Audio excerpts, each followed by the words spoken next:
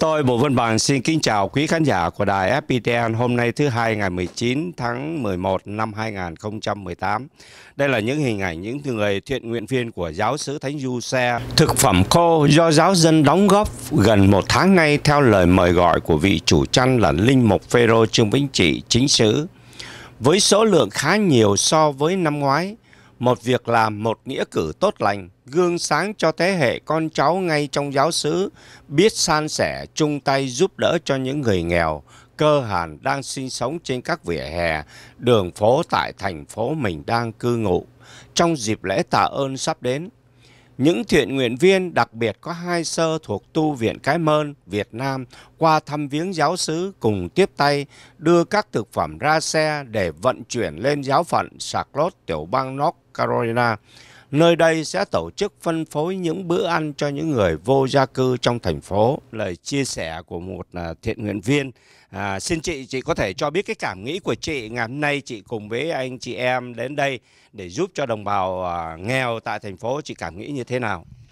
Dạ thưa thì ừ, chúng em là những người uh, cần để giúp giúp một tay ở trong uh, giáo xứ của chúng em.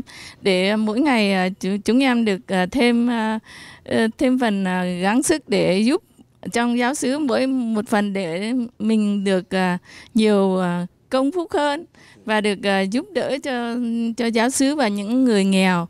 Để họ cùng được hưởng một mùa Giáng sinh ở một mùa uh, no được uh, Thanksgiving được vui vẻ và đầm ấm hơn.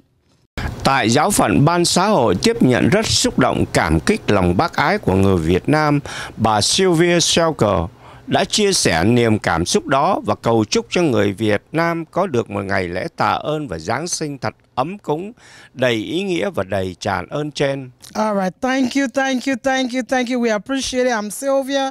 I'm the Direct Assistant Coordinator for Catholic Charities, and the pantry is one of my duties. So I just want to say thank you, happy Thanksgiving, and Merry Christmas to you all. Thank you, thank you, thank you.